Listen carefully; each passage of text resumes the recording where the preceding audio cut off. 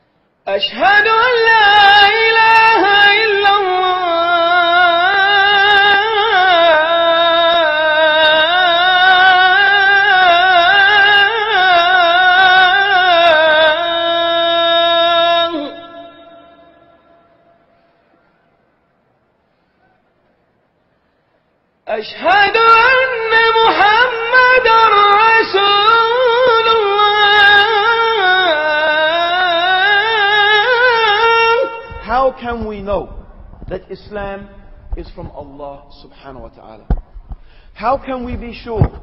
And how can we reach yaqeen, certainty, that this deen that we profess to be followers of, this deen which, alhamdulillah, is the fastest growing religion on the face of the earth, and it is the largest religion now on the face of the, this earth, walhamdulillah.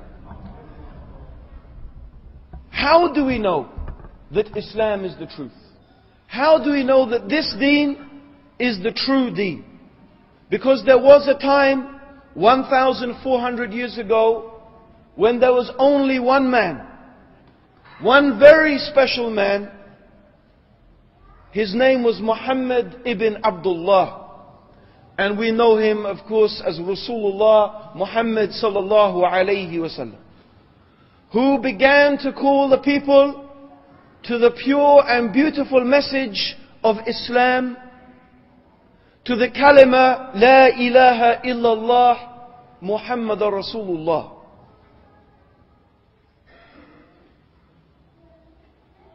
So my brothers and sisters, what are the proofs and what are the evidences through which and by which we can know and also that those people who are not yet Muslim and we ask Allah to guide all the people to Islam. How can they know that Islam is the true religion? First of all, I want to discuss briefly why this is an important subject. The first reason why this subject is very important is because every Muslim needs to be armed with yaqeen, certainty. Every Muslim has to have certainty that is far from any type of doubt that Islam is the true religion that has been revealed by Allah subhanahu wa ta'ala to his last and final messenger Muhammad sallallahu alayhi wasallam. And certainty does not come about by merely being born into a Muslim family or a Muslim country or a Muslim culture. I know there are many brothers and sisters, many people who call themselves Muslim. But if you ask them, why are you Muslim? Why are you a Muslim and not a Christian? Why are you a Muslim and not a Jew or an atheist or something else? The only reply they will give is because this was the religion of my fathers. And I am following my fathers. Of course, this is not really what should motivate a Muslim or anyone to follow religion. Religion is followed, the true religion is followed because it is the truth. And the true religion is based upon proof and evidence. it is based upon proof and evidence. Imagine if I came here today, having arrived recently from London after my 24 hour flight, and I arrived here in this, mashallah, beautiful mosque. I think I was staring at the ceiling for at least two minutes. Alhamdulillah. We have a beautiful mosque in London as well, Central Mosque, but this I have to say, mashallah. So if I arrived here and I said, this mosque does not belong to the Muslim community of Sydney, this mosque belongs to me. This is my mosque, it belongs to me, and from now on I am the Imam, and I am the mosque committee, and in fact I want all of you to leave because I don't really like you, please go.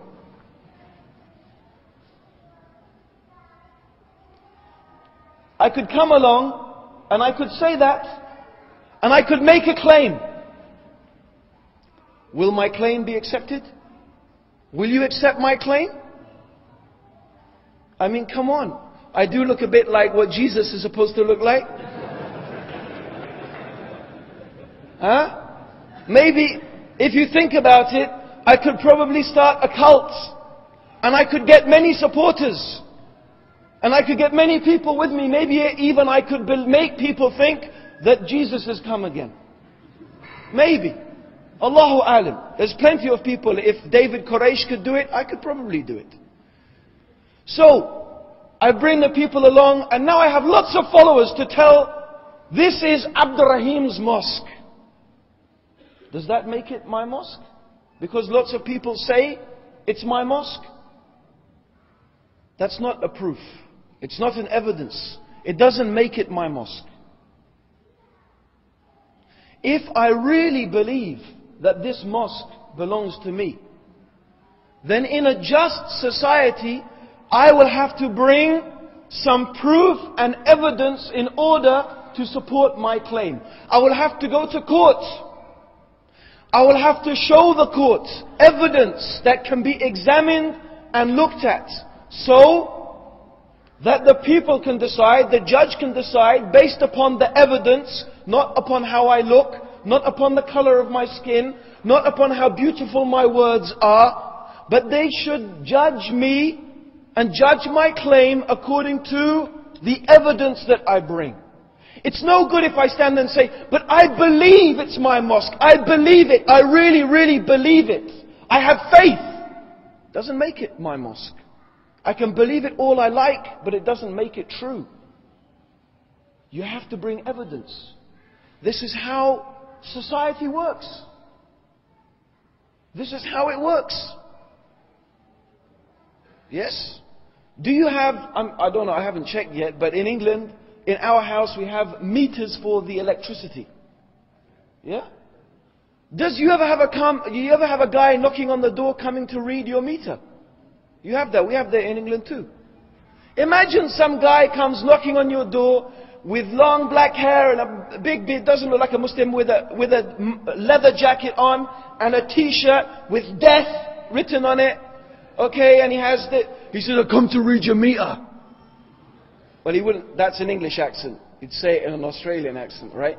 So, you say, go away. You're not the meter man. Let me see some identification. Prove to me you're from the electricity company. Because you know that people from the electricity company, they have identification. And you can really, you can ring a number. Did you send the electricity man round today? Yes. What does he look like? Has he got a leather jacket with death on it? And yes, he has. I know it's strange, but so you know. You understand? Why? You, you won't let anyone into your house. Because in your house is your wife and your children and your possessions. So you want to see some proof, some evidence. Yes? This is how we are. Why is it then, when it comes to religion, when it comes to religion, people have different standards? When it comes to religion, people say, well, I follow the way of my ancestors. They were Hindus, so I'm a Hindu. They were Christians, so I'm a Christian. To the Jew and to the Christian and to the idol worshipper and to the atheist and to the communist and everyone, anyone, bring your proof if what you say is true. If you claim that this is what Allah says, if you claim that this is Allah's deen, if you claim that this is God's revelation, bring your proof, bring your evidence, because this issue of religion is more important than the issue of my house. It is more important than the issue of to whom this mosque belongs to. The issue of your religion is what is going to decide your fate, whether you will be punished forever in a fire where your skin will be roasted and recreated and re-roasted so you can taste the punishment. Or whether you will experience the delights and the pleasures and the bliss of paradise. This is what is being decided here. Not some few mundane aspects of our worldly life. So we want to see proof. We want to see evidence. Now, if you are a Muslim, and this is the second benefit of this lecture, the first benefit is to give us yaqeen. The second benefit is, inshallah, so you will also have a weapon, or not a weapon, but you will have something to be able to give dawah, to call the people to Islam with. When you say to them, prove to me your religion is true, and they will not be able to prove that their religion is true. One, then they are going to say, brothers and sisters, you prove to me that your religion is true. Yes? It's actually very strange how few people say that. They will argue about everything. They will argue about hijab. They will argue about jihad. They will argue about polygamy. They will argue about the sharia. They will argue about all the things in Islam. And they will argue and argue with you.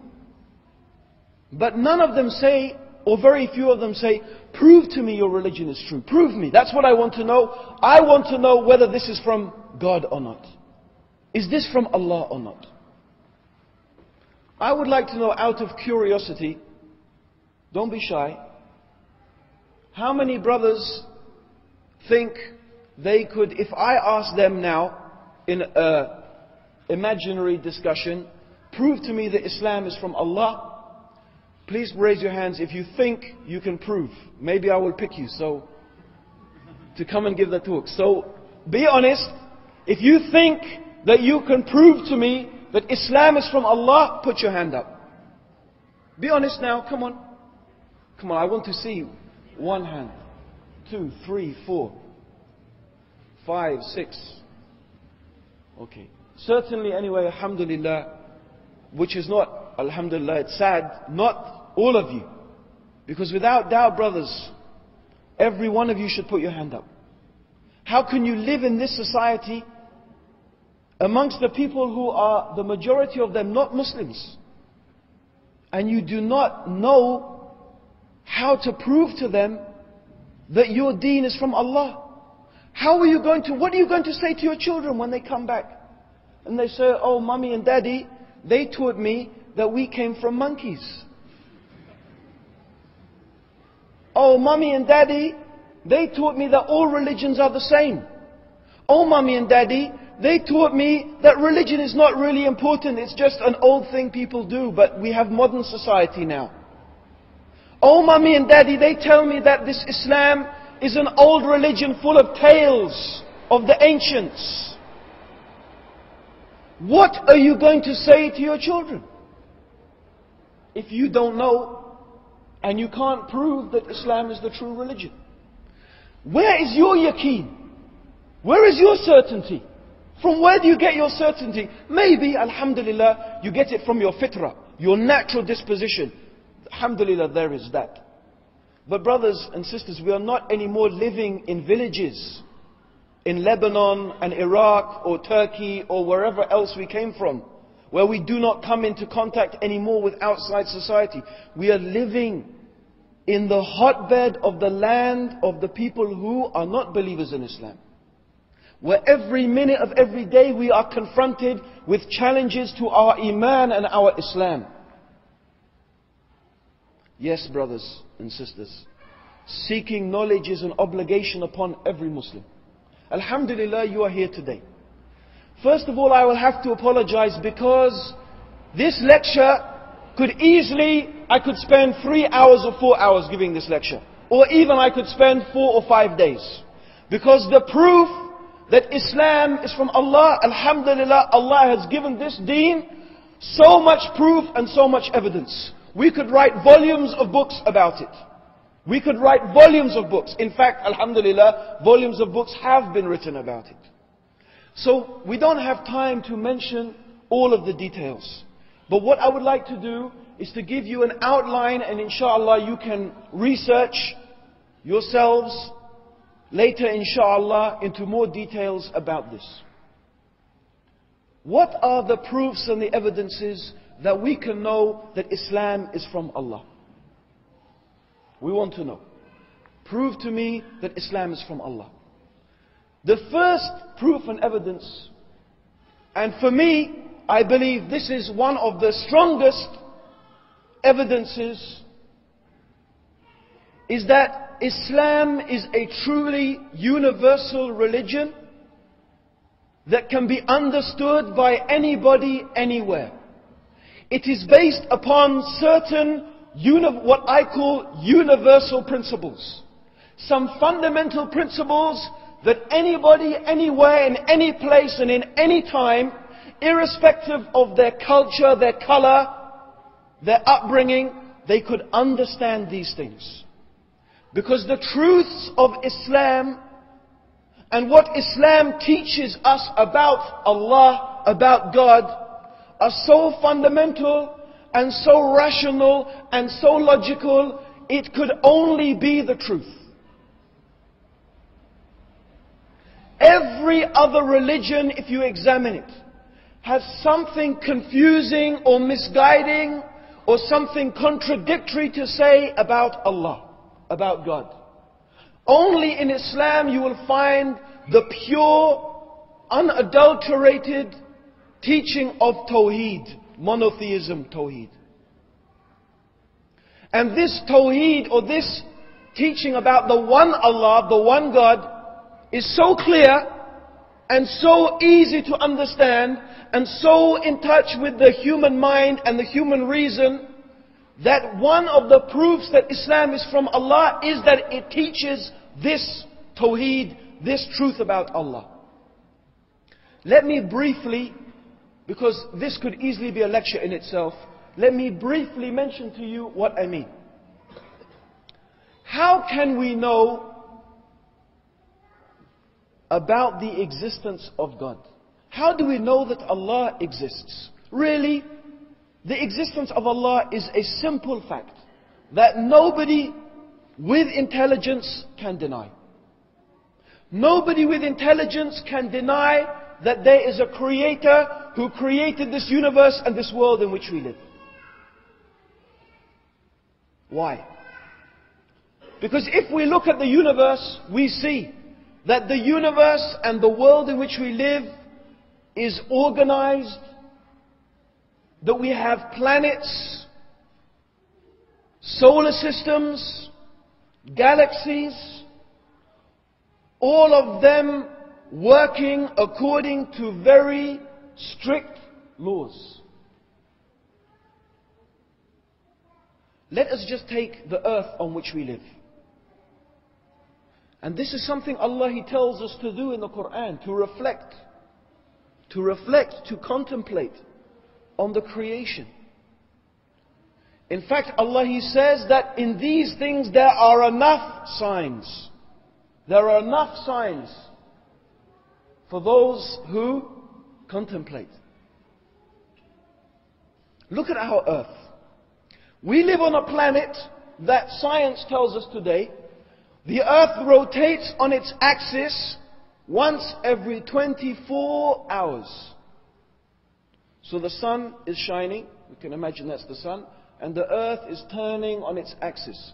So when the, this bit of the earth is facing the sun, it is day, and the other part of the sun, the other part of the earth is away from the sun, that is the night. So the earth turns on its axis once every 24 hours. Imagine if the earth was spinning very slowly. Very slowly. So instead of the earth spinning on its axis once every 24 hours, it spun on its axis once every 20 years. So imagine a day was 10 years long and a night was 10 years long. Yes? Because the earth is spinning slowly. What would happen? One part of the earth's surface would always be exposed, at least for 20 years, to the sun. And the other part would be in the shade for 20 years, for 10 years. 10 years and 10 years. So the sun beating down on the earth, as I'm sure you know in Australia, you get the sun here a lot. And Australia, most of it is desert. I remember flying across a continent that was really mostly a desert. Imagine this, there is no night. The sun is beating down constantly. You will have one part of the earth's surface will become superheated and the other part will become supercooled. And most likely life will not exist. But the earth happens to spin at this beautiful, precise movement once every 24 hours. Not only that, it is just the right distance from the sun. If it was closer to the sun, it would be, be too hot. If it was further from the sun, it will be too cold. We have gases in our Earth's atmosphere. Oxygen, nitrogen and carbon dioxide. In exactly the right balance for life to exist. Oxygen is essential for life's existence, but pure oxygen is poisonous. That's why we need carbon dioxide. And we also need nitrogen, which helps to fertilize the soil. We have a gas on the Earth's atmosphere called ozone. This is the name of the gas, the ozone layer, which is a gas, it is a layer of this gas ozone. And this gas happens to have the property of filtering out the harmful effects of the sun's radiation. Take away this gas, then radiation that would hit the earth's surface would kill all life. Water is amazing property water has. When water is solid, it floats on the liquid. Meaning ice floats on water. Put ice in your glass of water and does it sink to the bottom or does it float to the top? Icebergs. Do they sink to the bottom of the sea or they float on the top? They're on the top. But this is only with water. With other materials, it is the opposite. The solid sinks to the bottom of the liquid. But imagine if water had the property of all other materials. Imagine if solid water sank instead of floated. Then every river would be frozen from the bottom, the seas would be frozen from the bottom, and life would not exist. And we can look and look and look, and what we find everywhere is this precision. Everything is constructed according to a fantastic plan. If we talk about our eyes, our brain, our ears, the animals, the trees, the plants, how they all exist in this symbiotic relationship, each one relying upon the other, you will see what a beautiful, balanced mechanism that we live in. How do we explain this? We have to ask some questions. Where did it come from? Where did it come from? Did it come from nothing? Now you see, we talk about universal principles. You see, all human beings, all of us everywhere, we understand certain things. We have a shared set of principles we all understand. Yes? For example, it doesn't matter where you go, you go to Turkey, to Lebanon, to England, to Australia, to uh, the South Pole, North Pole, wherever you go, and you ask a human being, is part of something less than the whole of that thing? Is part a part of something less than the whole? Is a part of this sponge on the microphone, is one part of it less than the whole of it? You'll all say, yes, this small part of it is less than the whole of it. We all agree. Every human being agrees. There are some things we all agree on. One of the things we agree on if we ask someone, do you find something coming from nothing? Do you find something coming from nothing? We say we don't find that. We don't find something just coming from nothing.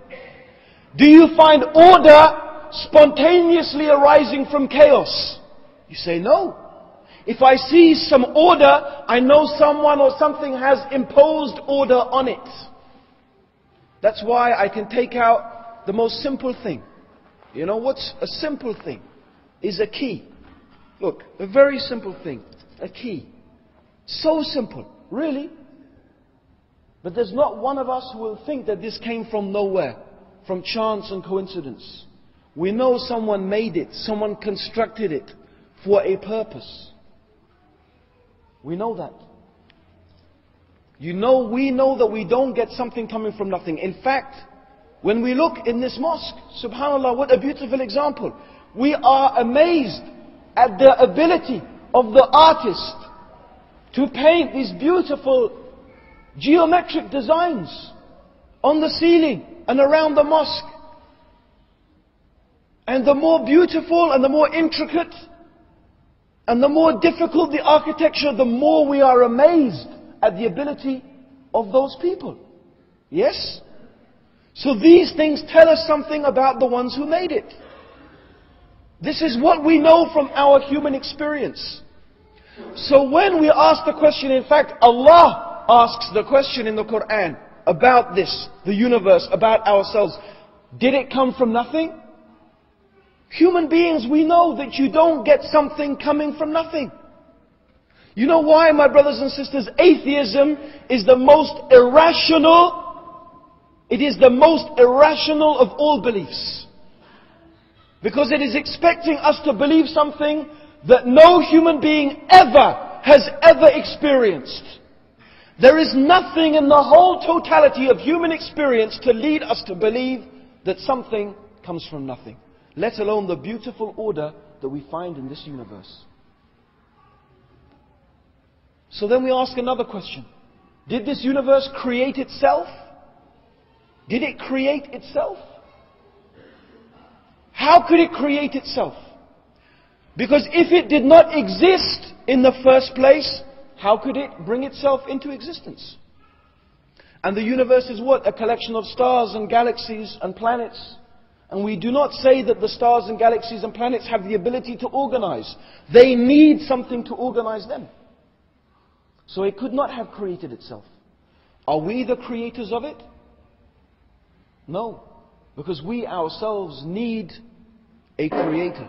We ourselves need a creator. So what is the answer? The answer is that there must be one who has created this universe and brought it into existence. And there could not be two of such gods. Because otherwise you will not find order, you will find chaos. So my brothers and sisters, you see that the first thing Islam is teaching us is something about God. But that is not all. Because we can understand that Allah, this God, his nature must be different from the creation. The creator must be different from the creator, creation.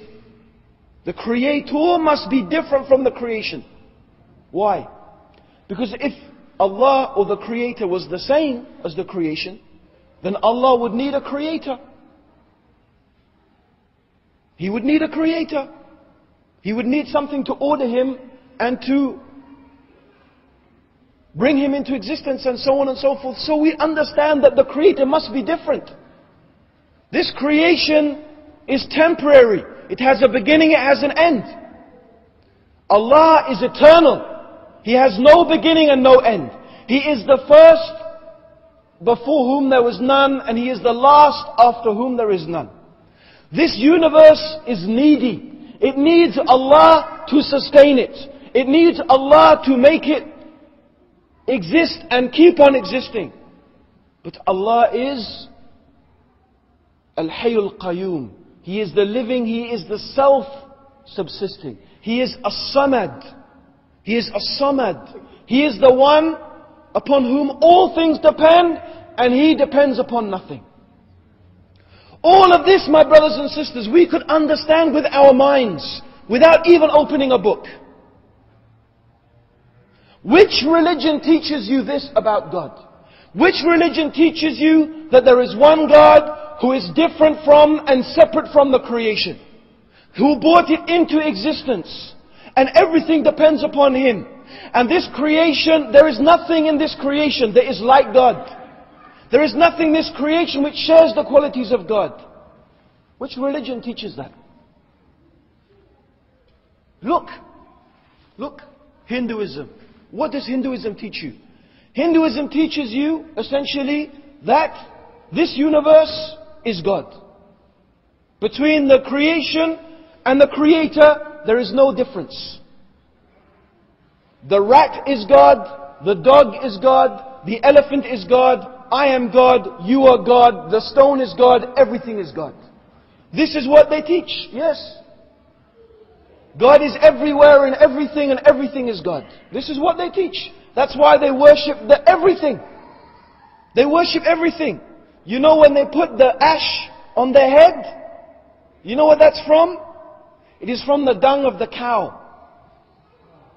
Yes. And if you go to India, you will see themselves cleaning themselves, cleaning themselves. In, because they think it's holy. Yes. And this is why some of them, they call themselves, some of the yogis, they say they are God. Because God is in you and God is in me, but God is more in me than He's in you. Yes, so worship me because I'm more of God than you. This is what they say. But we know from these principles that this is false. God is not the creation, nor is God in the creation. That Allah, God, the one, He is separate and different from it. Christianity teaches that Allah became a man. Allah, God, who is a Samad, He is Al-Hayy Al-Qayyum, He is Al-Awwal, He is the first and the last. They tell us that the one, this one, Allah, He became a man and died on the cross. So he was born of a woman, he was a little baby, he suckled on the breast, he got bigger and bigger and bigger. Uh, he walked and breathed and ate food, and then they say they put him on a cross and he died. God died. This is what they say. So they say God is a man who died. This does not agree with the reason, with the fitrah. It does not agree with these principles.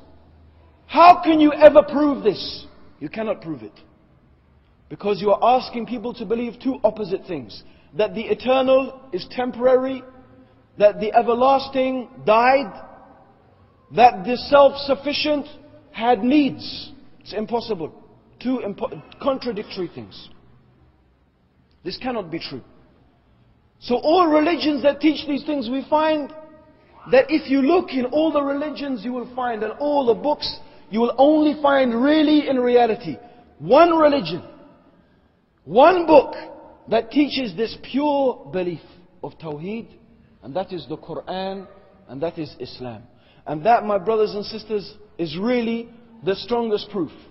Because if you can make people understand that, if people have sincerity, then they will believe on this. But sometimes people, they need more encouragement. They say, yes, that's very sensible. I agree with that. But how can I be sure that Muhammad sallallahu alayhi wasallam is a prophet of God? Because really, what you have said is very true and beautiful, but any intelligent person could have thought of this. How do I know that Muhammad sallallahu alayhi wasallam how do I know that he is a messenger? How do I know the Quran is the word of God? So they want more convincing. Alhamdulillah, we'll give them more convincing. First of all, we want to look at the Prophet Muhammad sallallahu alaihi wasallam. Brothers, Allah has blessed us with a messenger, and this messenger Muhammad sallallahu alayhi wasallam, wallahi, he is a, he is a proof from Allah. He is a proof from Allah that this deen is the true deen. His character, his personality, his behavior, his firmness, his truthfulness is a clear proof that he was what he claimed to be the messenger of Allah. His whole life is a proof that he was a messenger of Allah. And of course we don't have time to mention the whole seerah, but I would like to mention a few incidents. But before that, I would like to think, I would like us again to use reason to think. If someone comes along and says, I am a prophet, if someone comes along and he says, I am a messenger of God, there are three possibilities. Three possibilities concerning this person's claim. Number one, the first possibility is that this individual or this person is a liar.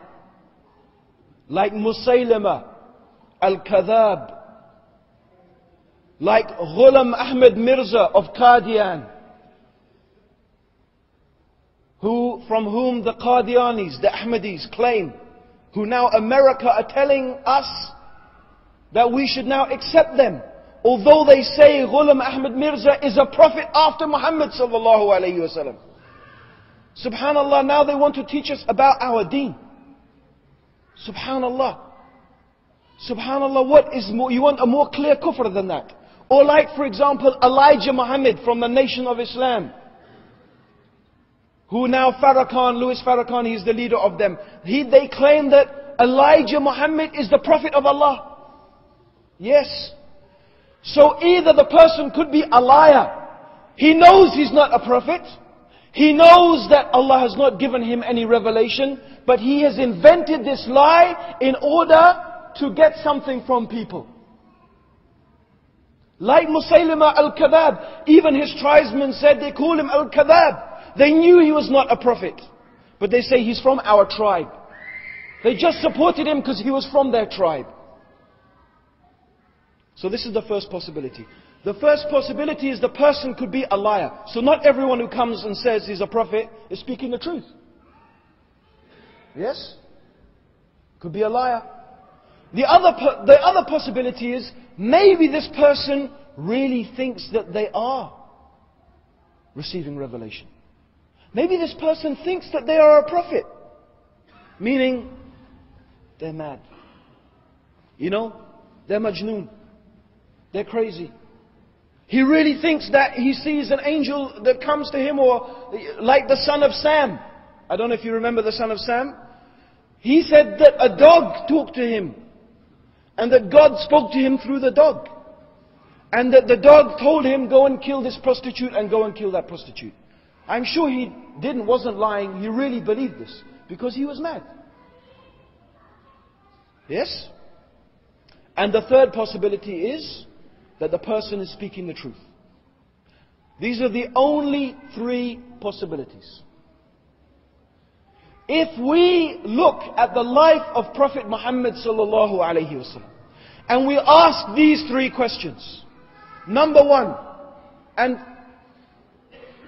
this is exactly what the enemies of Islam have done. This is the path of most of the Christian writers. They said, we look at number one, they said, Muhammad, they said, A'udhu Billah, and we will show how they are liars. They say Muhammad was a liar. They are the liars. They say Muhammad sallallahu alayhi wasallam, he sat with a Jewish rabbi, he sat with Christian priests, he learnt about all these things. He copied the Bible and he invented Islam. He sat in the cave and he invented Islam. This is what they say. Until today, this is what they say. If you read their books, this is what they claim. They say Muhammad was a liar. He invented it.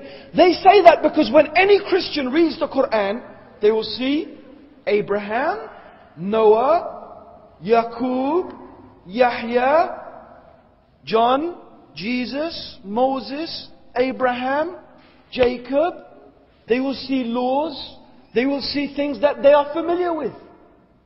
They will see descriptions of paradise and hellfire and the day of judgment. So they will say, where did this man, living 1,400 years ago in the desert, how did he learn about all of these things? There were no universities, there were no colleges. How did he get all this knowledge? How did he get all this information? Where did, you know, the Quran talks about very difficult theological issues like the Trinity. About, for example, atheism. I already mentioned. The Quran refutes atheism. Where did this man get this knowledge from? So the Christian, he says, well, Muhammad, he must have learnt it from a rabbi or a priest. He must have copied it from the Bible. And he invented Islam and made this lie. They say he was a liar.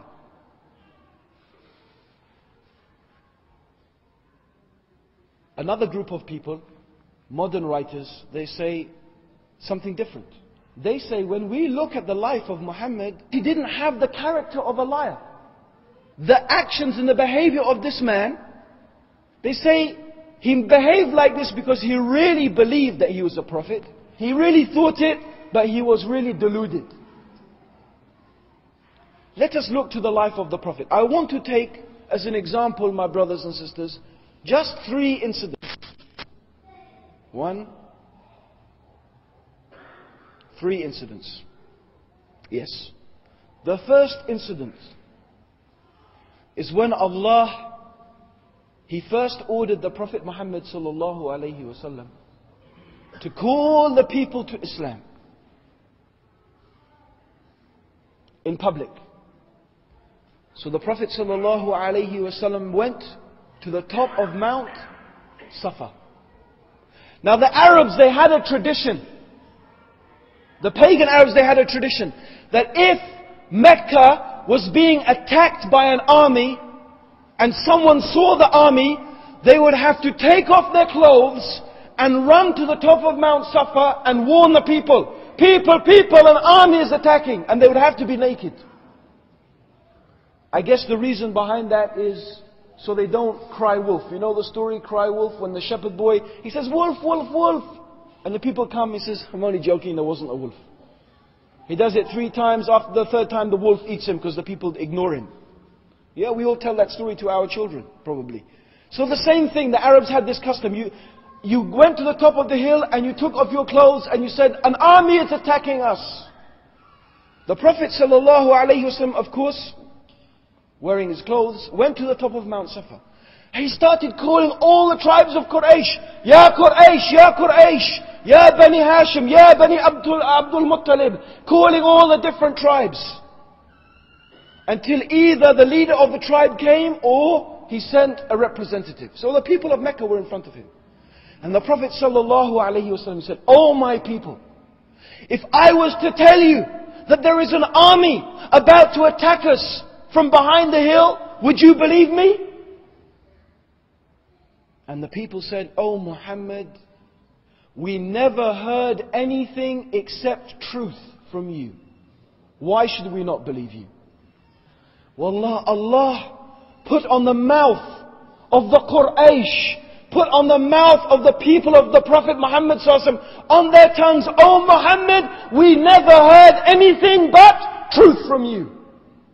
They testified that he sallallahu alayhi wasallam was a siddiq. He was the truthful. They even nicknamed him Al-Amin. Before that, they, nicknamed, they gave him the nickname Al-Amin, the trustworthy. Subhanallah. So his people said, we never heard anything but truth from you. And the Prophet ﷺ said, I have come to warn you of a terrible punishment from your Lord.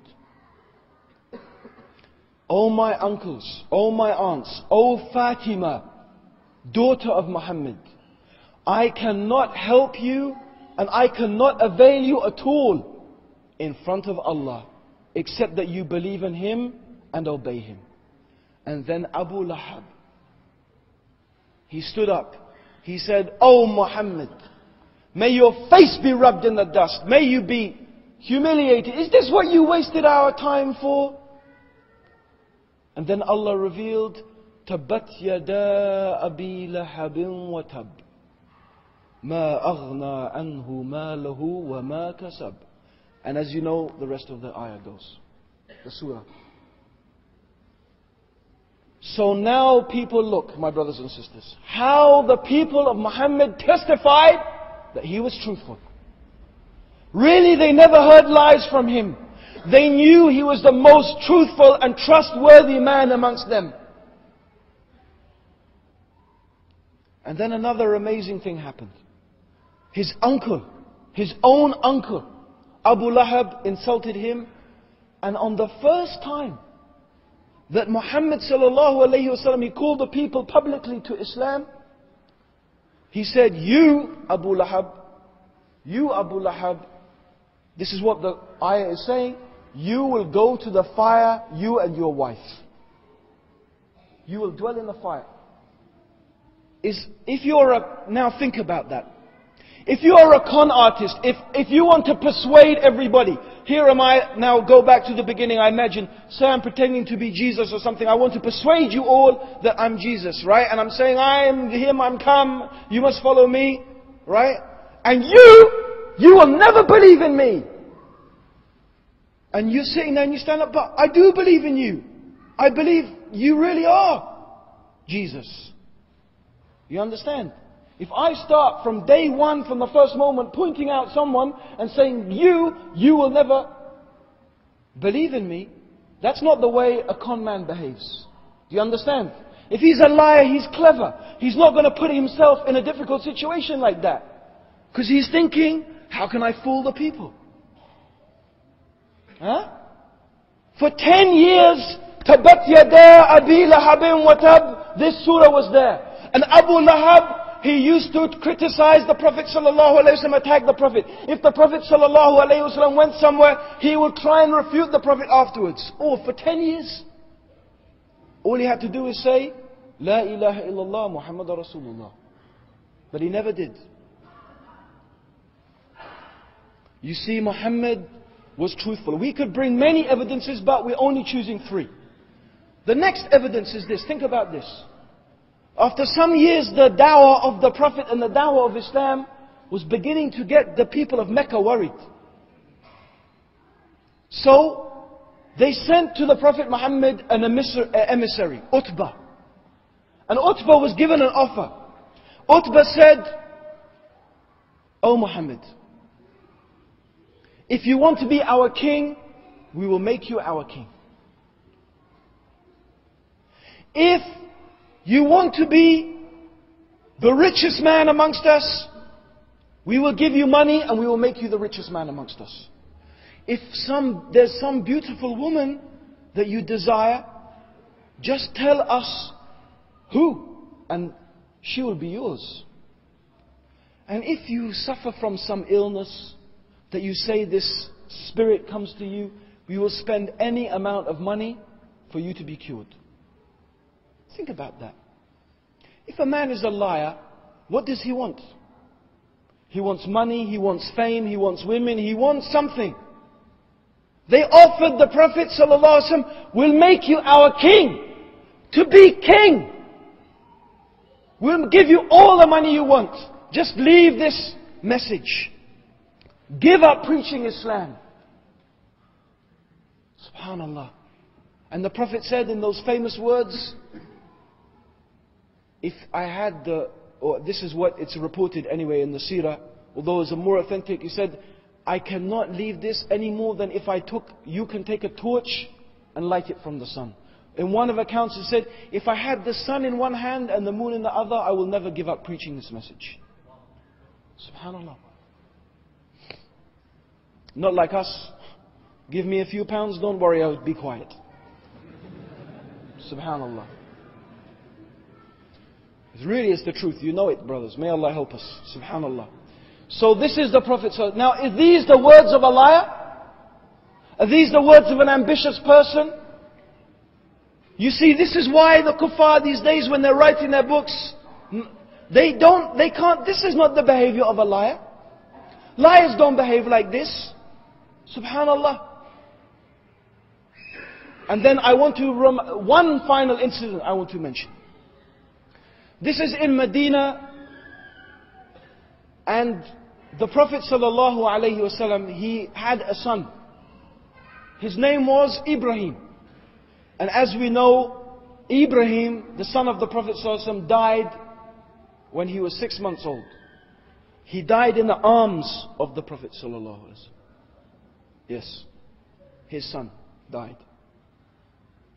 On the same day that the son of the Prophet ﷺ died, there was an eclipse of the sun. Now, if I went around saying, you see, that proves he's a prophet. Many, some of you might say, yes, that's true. There was an eclipse of the sun and his son died. If you told most of those people who believe in star signs that the Virgo is in the ascendant over the Pisces, which is in the descendant over the Leo, and I'm gonna, you know, be a happy man this week, right?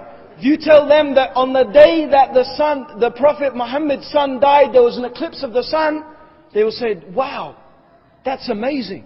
And you know, at that time the people came rushing and they said, look, even the sun darkens out of respect, mourning the death of the son of the Prophet Muhammad sallallahu alaihi wasallam. Please, if Muhammad sallallahu alaihi wasallam was a liar, he would be saying, this is amazing. Here I've got it. Can you believe this? After all these years, now I've got the chance. You see everybody, you see, I told you I was a prophet. Yes? And if he was deluded, he'll be thinking, yes, God is showing the signs to the people to prove that I'm a prophet. What did Muhammad sallallahu alayhi wasallam do?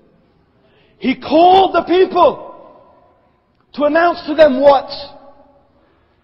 This is the sun and this is the moon. They are from the ayat of Allah and they do not rise or set or eclipse for the birth or the death of any man. So when you see this, pray to your Lord. And He taught us the prayer of the eclipse. Are these not the words of a man who was what he truly claimed to be? He was no liar and he was no deluded person. He was what he claimed to be the messenger of Allah. And his life, and I've only given three incidents, proves that. But that is not all, my brothers. On top of that, Allah has given us the great miracle of the Quran. The convincing miracle of the Quran. We don't have time to even begin to touch upon the Quran and its many miraculous aspects. What can we say about a book that is in fact the uncreated speech of Allah? Allah, He says that if this book was from anyone else than Him, you would find within it many contradictions. You would find within it many contradictions. If you open the Bible, you don't need to get beyond page one to find the first contradiction. Believe me, page one, you don't need to go any further. On page one of the Bible, it tells us in the Bible that God created the night and the day before He created the sun. Yes.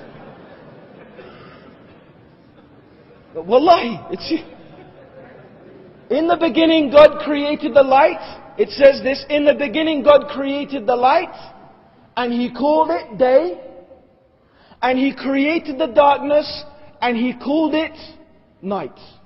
The first day came and the first night came. And it's not until the fourth day, check it, it's not until the fourth day that Allah creates the sun. On the fourth day He created the sun to rule the day and He created the moon to rule the night. Subhanallah. Now, anyone reading that will say, the one who wrote this does not know how night and day occurs. They got confused. In fact, it's an old ancient Babylonian creation myth. Do you find such contradictions in the Quran? No, my brothers and sisters. You find in the Quran statements that are accurate concerning scientific facts that scientists have only discovered in the last 20 years. We have statements of scientific fact concerning the mountains, concerning the creation of the universe. Where Allah He tells us, have not the unbelievers seen that the heavens and the earth were united, joined together as one piece of creation. Then we rent them asunder and we bought from every living thing, we, we made from water every living thing. The Quran describes the common origin of the universe, how it was rent asunder. From this dukhan, from the smoke, Allah created the planets. The Quran tells us. The Quran tells us how Allah placed in the mountains otad, like the pegs of a tent.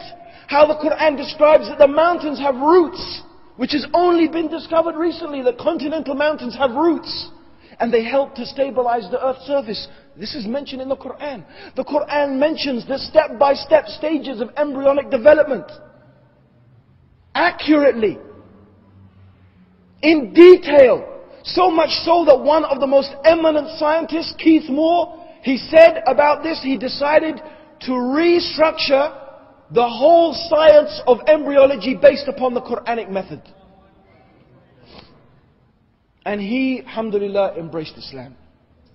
He is the world's most famous and most eminent embryologist, Keith Moore. Anyone who is studying embryology in university will have heard of him and his book, The Developing Human.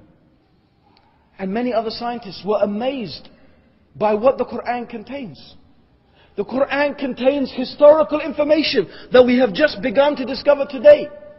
Subhanallah, one thing is the Christians, if you find in books of Christians, they actually write about some of them saying, one of the biggest mistakes we find in the Quran is about history. It's in their writings.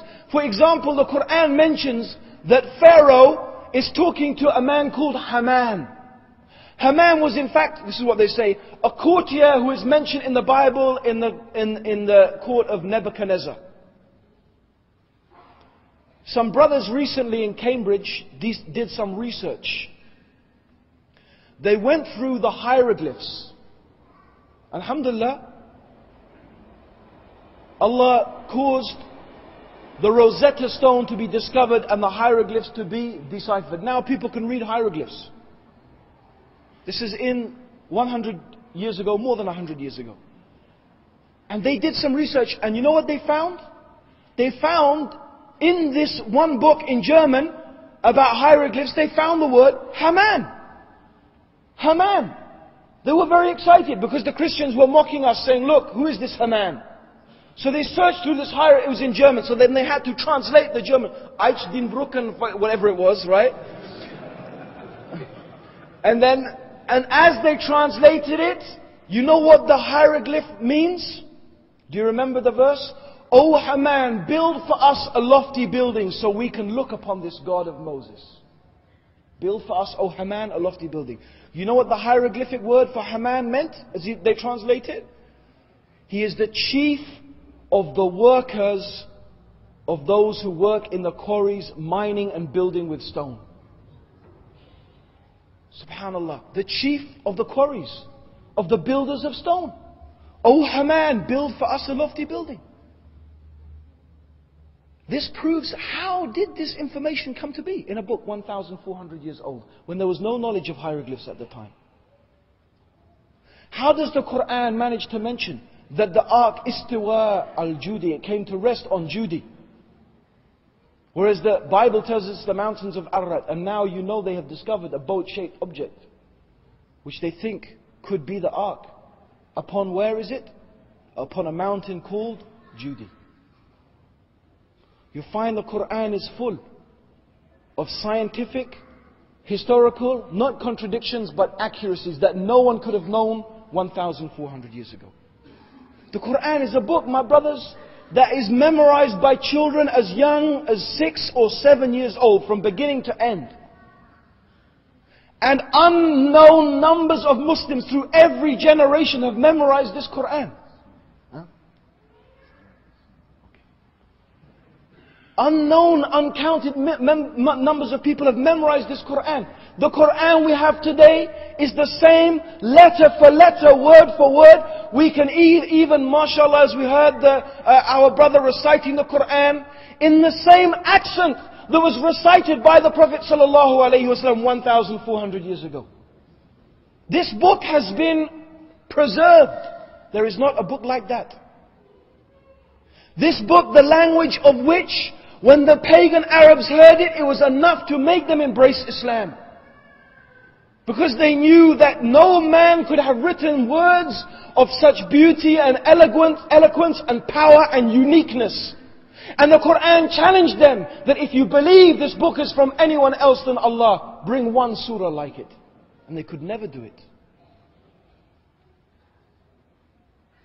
This Quran, my brothers and sisters, has laws. Has laws. So upright, so clear, so straight, so perfectly adapted to the needs of human beings. And this is something I want all of us to think about as Muslims. The laws of the Quran, the teachings of the Prophet Muhammad sallallahu, alayhi wasallam, they're not for some time 1,400 years ago. These laws are for us today living in the 20th century. There is not one command or one prohibition in the Quran that is out of date for another time and another place. Wallahi, whoever says that is, is someone who has left Islam. The Quran today is as good and as perfect for human beings as it ever was. Because it is from Allah. And if you examine and you think about these laws, they're so perfect. How could any man think of these things? How could any man have put these things down and understood the human being so perfectly?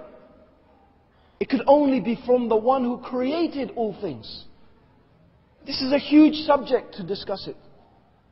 I ask you, brothers and sisters, to research, to find out, to study for yourself. From the simplest things, the use of the smallest sunnah, using a miswak. Now, we are told, brush your teeth twice a day at least. But 1,400 years ago, Islam instituted the miswak. Even a simple thing, the Prophet ﷺ told us, advised us, when you put your sandals on, sit down. What's so great about that?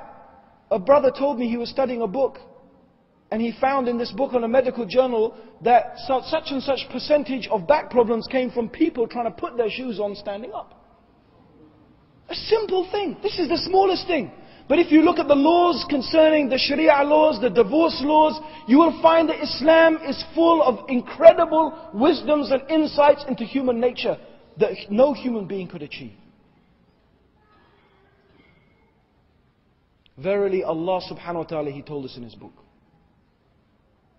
كل الذين كفروا من أهل الكتاب والمشركين منفكين حتى تتم البينة رسول من الله يتلو صحفا مطهرة فيها كتب قيمة Never will the disbelievers from the people of the book or the mushrikeen leave off their disbelief until there came to them Rasulun min Allah, a prophet from Allah, reciting to them a purified scripture containing upright laws.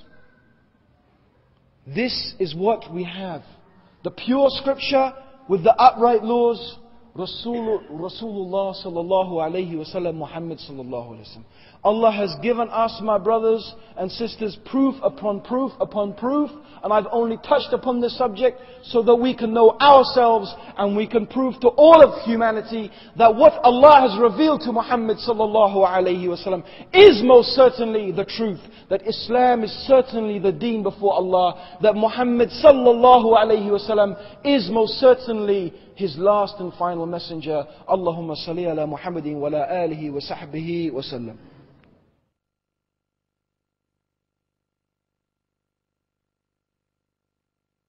Jazakallah khair. You've been very patient, mashallah.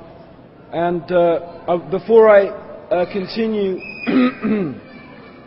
with the questions and answers, I would, uh, I would like also, I would like to thank all of you, mashallah, for coming here tonight because it's my pleasure to be able to give you some bit of knowledge that I've got to you. Really, it's my pleasure. So I would like to thank you and I'd like to thank the mosque, this mashallah, the brothers and all the community who have built this mashallah beautiful mosque. And may Allah reward all of you. I mean, inshallah. Hopefully we'll all share in the reward of Mark's Shahada today, inshallah.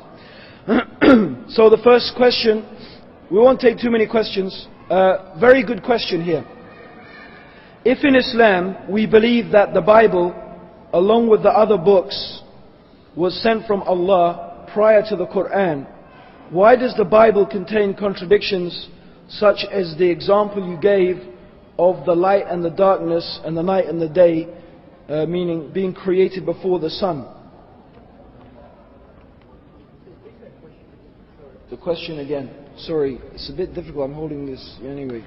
Okay, so the question is how come the Bible contains contradictions if we believe in the previous books? The first thing is, brothers and sisters, is that the Quran, and this is very important, because sometimes Christian missionaries confuse us on this issue. The Quran does not tell us to believe in the Bible. The Quran does not mention the Bible. Nowhere in the Quran is the Bible mentioned. In fact, even the Bible doesn't mention the Bible. Because the Bible, in fact, even if you ask 10 different Christian groups what the Bible is, they will tell you and give you 10 different books. So even the Christians don't know what's the Bible. the Catholics have 16 books more than the Protestants and the Mormons have an extra book altogether. And if you look and you go and you find ancient manuscripts, such as the Codex Sinaiticus, you'll find that it has books that we don't even know about in the Bibles today. So what is the Bible anyway? The Bible anyway is from the Greek word biblos, which means a collection of books. These books are there because some Christian councils of various Christian denominations decided that these were the authoritative scripture according to their interpretation. So the Quran does not in any way tell us to believe in the Bible. All the Quran tells us to believe in is in the books that were revealed to the messengers who came before Muhammad sallallahu alayhi wasallam, of which the ones that have been mentioned in the Quran is the Suhfa which is given to Ibrahim, the Torah which was given to Musa, the Zabur which was given to Dawood, and the Injil which was given to Isa, and the Quran which was given to Muhammad sallallahu alayhi wasallam. Those are the books that we are obliged to believe in them. We believe in them in the sense that Allah revealed these books to those messengers. However, Allah has told us in the Quran, and this is the aqidah of the Muslims, that these books have suffered changes, alterations and deletions. Some things have been left out and not mentioned, and they've been kept secret by the Jews and the Christians. And amongst some of those things are the descriptions of the Prophet Muhammad sallallahu alaihi wasallam, which they know about. And other things they have added and changed and corrupted. So the books that they have today, which they call the Bible, is not the Torah and the Injil and the Zabur. It contains something of the Torah and the Injil and the Zabur, and it contains some other things which they have added, and it also there is some things that they have taken out from the Torah and the Injil and the Zabur, which should be there. This is what the Bible is. So we do not believe in the Bible. If you mean how come Allah has allowed those scriptures to be corrupted where He has not allowed the Quran to be corrupted, that is because Allah was always sending messengers. So when the Torah is corrupted, and when the Zabur was corrupted, Allah He sent Isa alayhi salam to remind the Bani Israel of those things which they had gone astray and what had been corrupted and what had they had deviated from. However, because the Quran is the final revelation from Allah subhanahu wa ta'ala, Allah has promised to guard it from all corruption. In fact, the fact that Allah has promised to preserve it and the fact that we have the Quran existing word for word, letter for letter, the same as was revealed to Muhammad sallallahu alayhi wasallam. That is one of the proofs and one of the miracles of the Quran. Walhamdulillah.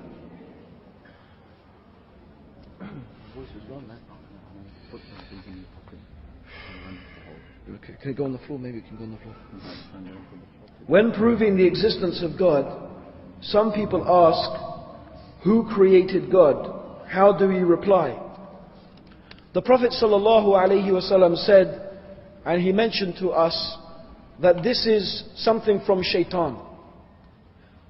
And like all of the plots of shaitan and the statements of shaitan, they really represent foolishness and deception. It's a really a stupid question. In fact, we have already answered this question. It is a question that does not have a meaning. Anyway, the Prophet wasallam said that we should say when we hear this, أعوذ بالله من الشيطان الرجيم, and we should say, كل هو الله أحد الله الصمد لم يلد ولم يولد ولم يكن له كفوا أحد. In fact, this surah is an answer to this question. This, this surah is an answer to this question. If you ask who created Allah, we say Allah is one, and He is as-samad, meaning He is the one upon whom all things depend, while Allah depends upon nothing. Lam yalid, he was not born. Walam yulad, and nothing gives birth to him. Walam yakullahu kufuwan ahad. And there is nothing which can be likened unto Allah. Meaning Allah is not like the creation. So Allah is a samad and He is unlike the creation. So this question is only a question that is being asked about a created thing. We ask, who created the tree? Because the tree is a temporary thing and a needy thing that is created. Who created the stars and the sun and the moon and you and me? We are temporary things that have a temporary existence. We have a beginning and we have an end. So we can ask that question about the created things. This question does not exist about one who is the creator but is not created. Lam yalid wa lam yulad. There is nothing like Allah, so you are not making a sensible question. Allah is not like the created things, so we do not, we cannot ask this question about Allah. Because Allah is unique. This is one way to explain the answer to this. And by the logic that we used, the logic that we used, that Allah must be, His nature must be different from that which He created. He must be. There's a very nice example that I also use. This is from logic. This is from logic. And this is another way you could explain it to somebody. If, for example, I said today, uh, I want to lift up, what's the, the, the minbar here, yeah? I want to lift it up. So I try to lift it. I can't do it, obviously. So I ask someone to help me. I say, Can you help me lift it up? He says, I will help you on the condition that he helps me. And he says, I will help him on the condition that he helps me. And he says, Well, I will help him on the condition that he helps me. Everybody says, I will only help if someone else helps me. Everybody says that. Will the minbar ever be lifted? If everyone makes that condition. It will stay, no, because it will never end. Everyone will be saying, I need someone, I will not help you unless you help me, I will not help you unless you help me. Sounds like the Muslims again, anyway. So, inshallah, may Allah help us. So, this is the similitude. Think now. If you ask this question, who created the creator? And then we say, well, if someone created the creator, then who created that creator? Then who created that creator? And who created that creator? You will have creators creating creators ad infinitum. And just as this minbar will never be lifted, you will never get anything created. It's the same example. But the creation is here. Here we are. It exists. So you can't have creators creating creators eternally. There must be somewhere where it stops. There must be one where it stops. One who is therefore infinite and eternal without beginning and without end. One who is different from the creation, not subjected to the confines of time and space and so on and so forth. So this is one way, inshallah, two ways we can answer that question, alhamdulillah. is the Big Bang Theory mentioned in the Quran and how does this come about if it is not? The, it seems very clear that what they call the Big Bang Theory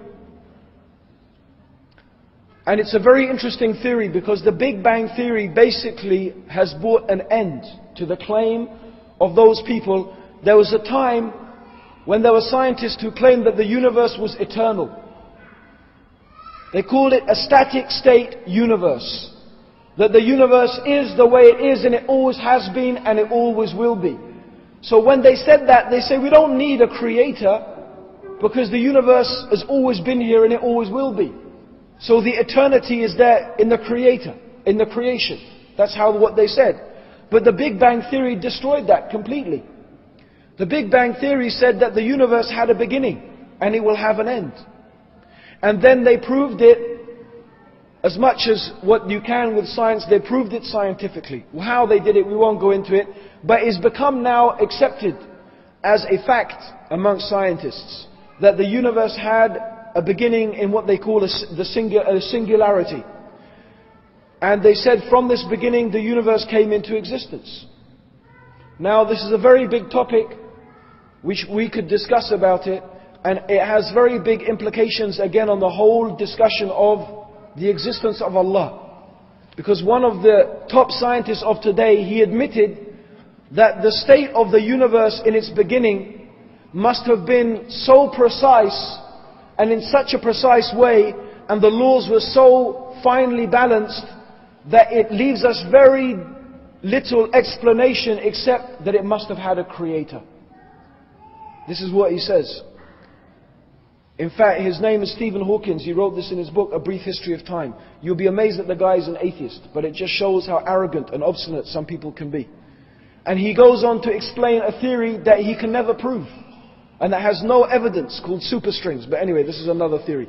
This is another thing. So anyway, the Big Bang Theory is alluded to, or it seems to be alluded to in the Quran. We can't say for sure, but the Quran mentions, have not the unbelievers seen, I think it's in Surah Al-Anbiya, yes, Surah Al-Anbiya, I think it's verse 33, where Allah subhanahu wa ta'ala says, have not the unbelievers seen that the heavens and the earth were united, this is the meaning anyway in English, they were united as one piece, and then Allah rent them asunder, and Allah made from water every living thing, which is also a scientific fact. So inshallah it does seem that the Quran alludes to what is now a proven scientific fact about the beginning of the universe and Allah knows best. Last few questions because as you can tell my voice is giving up on me here a bit. Uh, what do you think is the best way to teach a revert about Islam without giving them too much at once?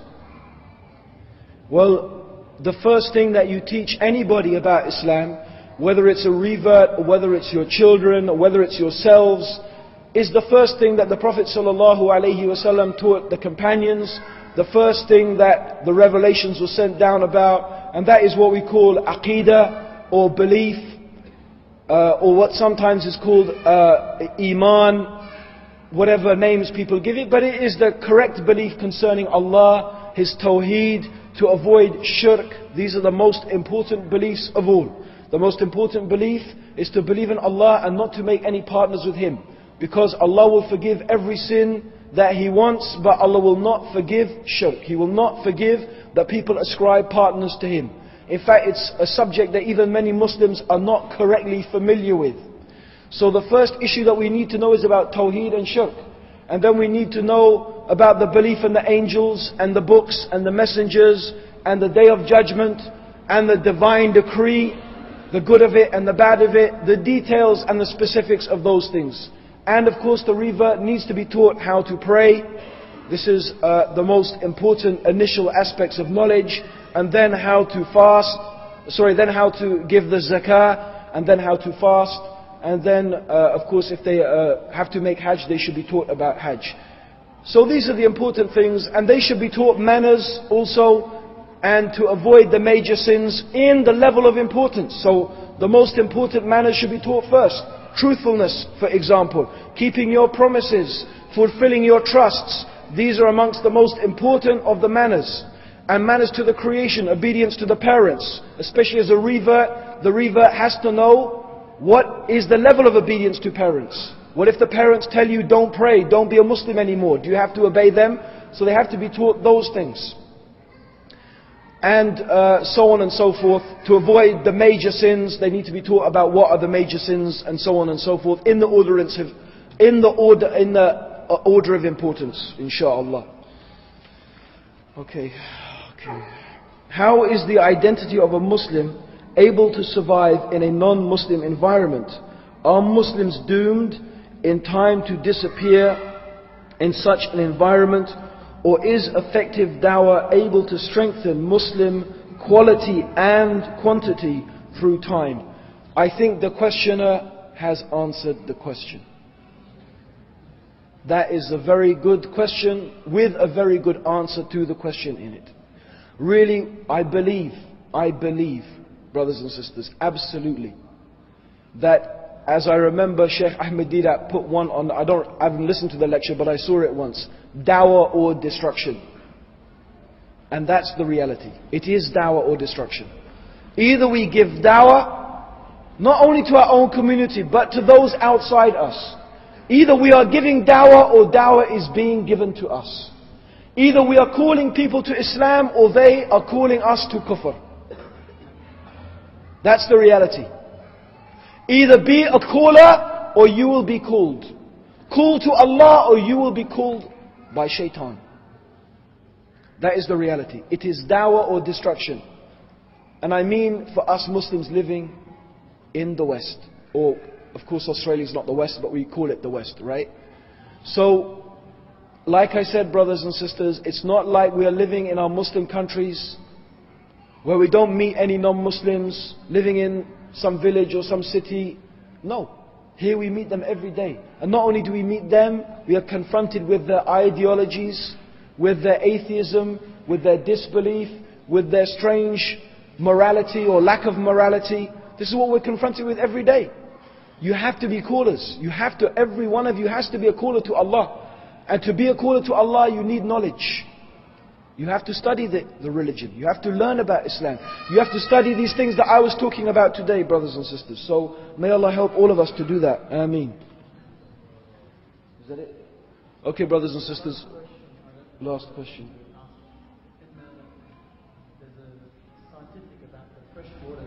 Yeah. Yeah. That explanation, uh, a lot of people ask me, is there explaining the Quran?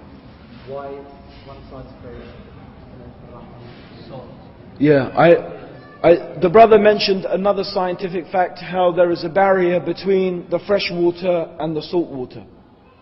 That's, in fact, there are literally hundreds of scientific statements in the Quran, but I didn't, you know, they would be lectures in themselves. We could lecture about the, the scientific statements about water and the oceans. We could lecture about embryology, just.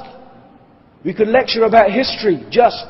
Really, believe me. We could give a lecture on these statements in the Quran.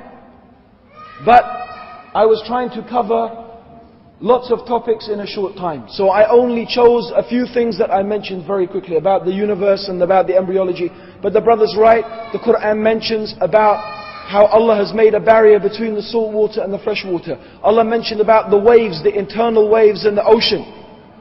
So there are many, many statements, alhamdulillah, in the Quran and in the Sunnah also of scientific accuracy that are amazing to scientists and non-scientists today, alhamdulillah. So brothers and sisters, I hope to see you all inshallah in the lectures tomorrow and the day after tomorrow, or just tomorrow, I, I don't know. But Anyway, you can even follow me to uh, Adelaide. Where am I going? I don't know, Brisbane or whatever. Not Brisbane, Adelaide, Perth, Melbourne. So maybe I'll see you there, inshallah. Again, thank you very much. Jazakallah khair to the mosque. May Allah reward you, brothers, in the mosque with much goodness and sisters, and bless you in your Islam. Make us all strong in Islam. Increase us in knowledge and iman and taqwa. And make all of us, inshallah, call us to Allah. So all of us, inshallah, get the ajr of bringing someone like Mark to Islam, inshallah. And that will be better than all the wealth that you can get in this world. Allahumma salli ala Muhammadin wa ala alihi wa sahbihi wa sallam. ربنا آتنا في الدنيا حسنة وفي الآخرة حسنة وقنا عذاب النار. السلام عليكم ورحمة الله وبركاته. Uh, me. أشهد أشهد أن لا أن لا إله إله إلا إلا الله الله وأشهد وأشهد أن أن محمدا محمدا رسول الله. رسول الله That means I testify that there is nothing worthy of worship except Allah and that Muhammad is his messenger. You're now, alhamdulillah, alhamdulillah. you're a Muslim. MashaAllah. Hold on, man. That wasn't that bad.